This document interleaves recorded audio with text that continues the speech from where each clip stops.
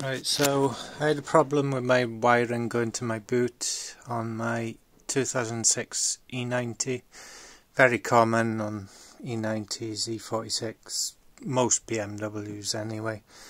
Um, so I decided to buy a repair loom and uh, it was by Vemo and uh, when I got it I didn't like the quality of the wires because the outer plastic or PVC, whatever it is, you could basically almost see through it. You could see where the wire was twisted inside. It, it was that thin, it was shit.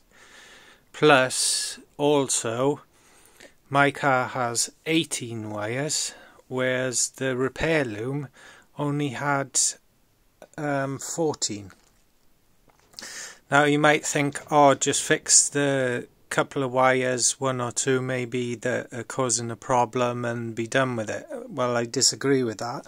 I'll show you exactly why. This pile of wires here, every single wire is unique and each one of these was damaged. So let's count them. There's one. There's number two. There's number three. There's number four.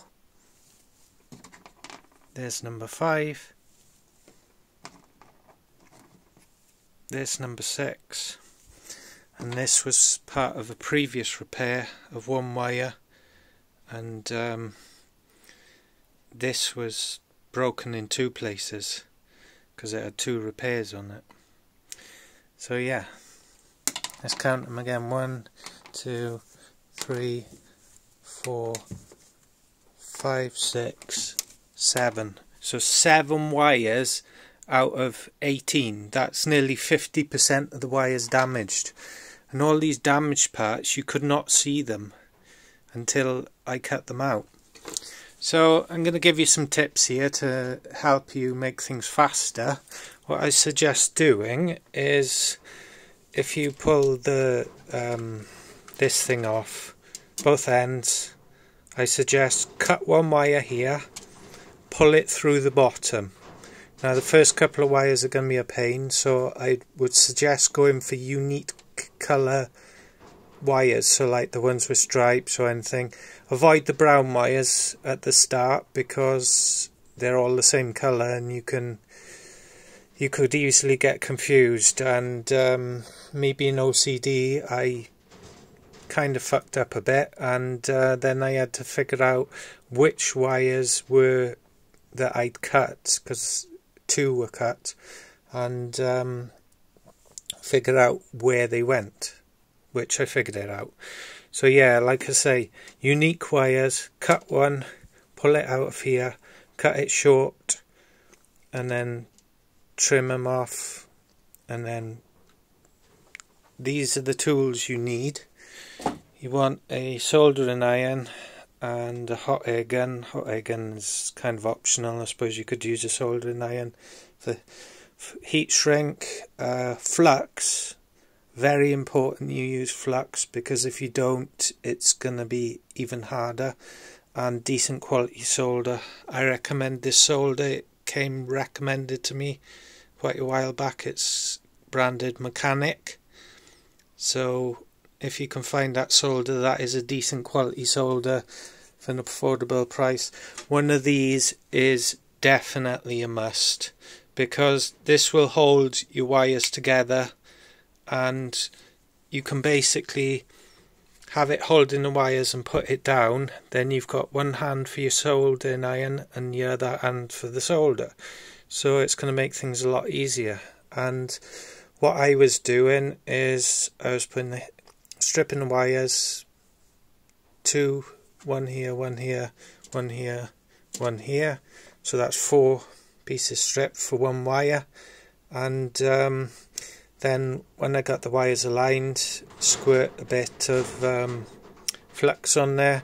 Then use your soldering iron to just melt it a little bit so it sinks into the wires. Then apply your solder. Then move your heat shrink over. Do the second one. Then get your heat gun. heat gun them both and move on to the next one. This took me several hours to do.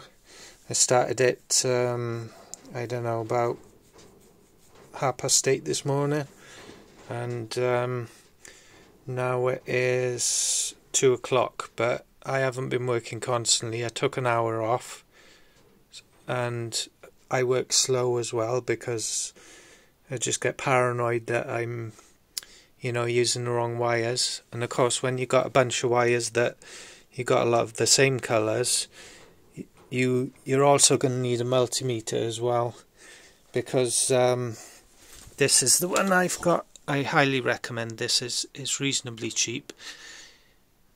You UNI-T UT210E as I think is a newer model to this now.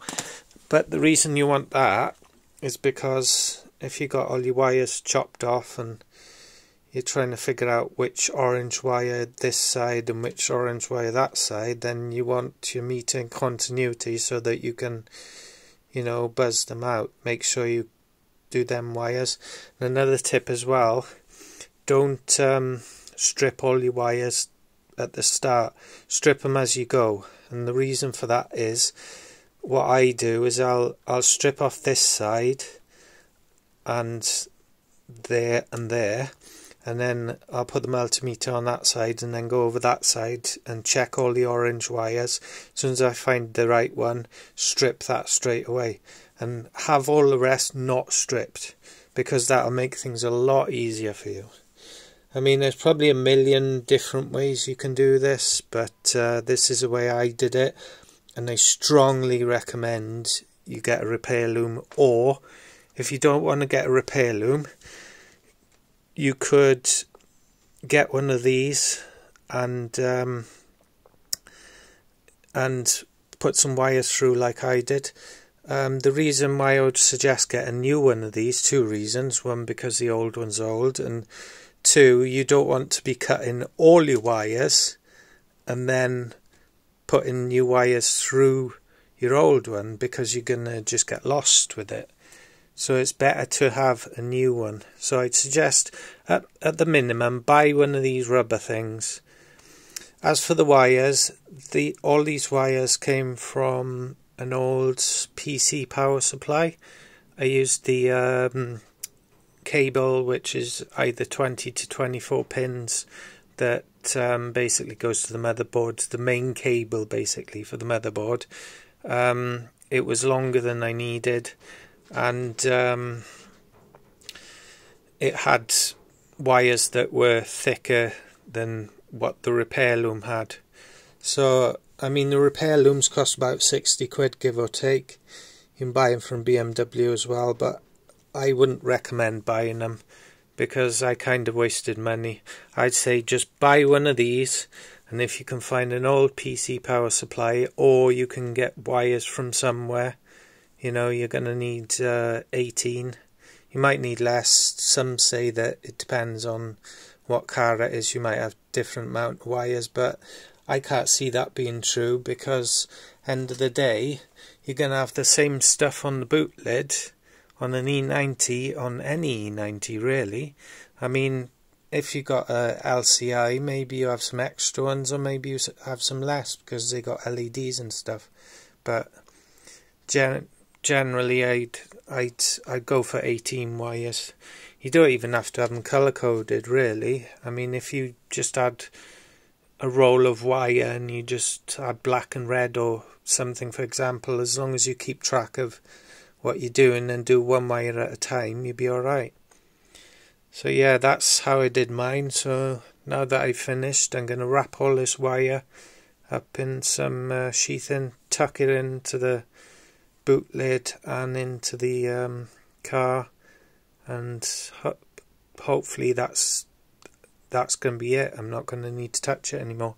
I've already checked the lights. They they seem to be working and they shook these about and didn't didn't cause any uh, fluctuations in the lights. So hopefully it's done